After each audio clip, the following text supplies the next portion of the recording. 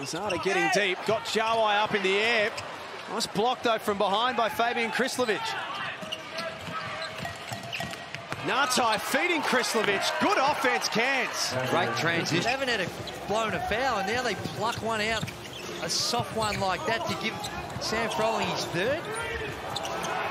Oh,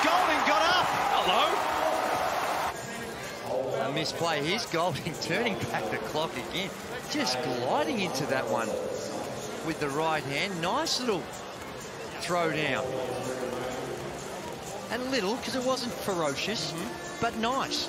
Hand on rim. Could be another offensive rebound. Has Jessup. He misses. This time it's Froling. Second and third chance opportunities. Fantastic for Illawarra, and they deserve that through Ogilvy. And the find by Deng Adel. Motion in Dean Vickerman. He knows how important it is. There's Deng Adel, and that's the vision I'm talking about. Little no look up. Ware and Machado, this, this matchup has been tantalising over the last two seasons. Jarell Martin spins to the basket first up in the jam. That would have went viral. Craig Moller, Again. Craig Moller and Mason Peatling, they won't learn, those two. They want to contest everything. This time Oliver under the cup. This time gets the jam.